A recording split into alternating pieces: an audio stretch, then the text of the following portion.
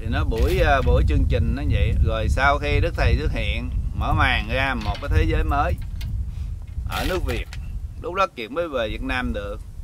Còn đức thầy mà chưa xuất hiện thì không có về việt nam được cứ ngồi đây à, xỏ chuỗi niệm phật tối ngày à. Mỗi một hộp kiệt xỏ thì kiệt niệm phật một cái mà kiệt buồn gần à, lần đây á, hãng kiệt giờ mấy ngày mướn vô cũng hai ba trăm người nữa. Số lượng lên đông.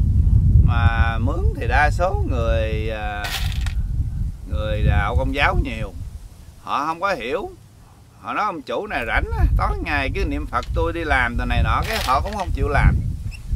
Cái bữa kiệt họp kiệt buồn kiệt ngồi tâm sự thôi chứ mình không có nói gì. Mình nói giờ mấy anh á à, mấy anh niệm quán nhậu mấy anh niệm à, uh, rookie football tức là cá độ football mấy anh niệm đá banh mấy anh niệm bia mấy anh niệm vũ trường mấy anh niệm uh, quán rượu rồi mấy anh niệm uh, sòng bài Las Vegas.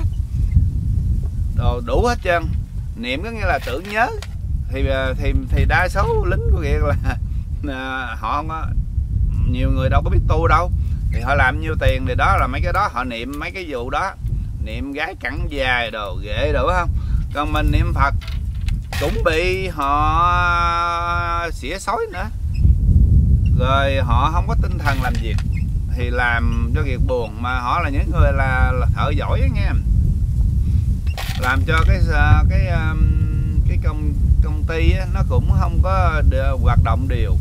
Thì cái ngồi những nói chuyện cái này cũng như là một cái thú vui thay vì có thằng chủ nó đi Las Vegas hay là uh, gái cẳng cao hay quán nhậu hay này nọ niệm mấy cái đó thì họ trách móc mình không nói còn này á mình chỉ niệm Phật. Có thằng chủ hiền thì phải mừng mới đúng nhưng mà ngược lại cái thế gian này nó ngộ lắm.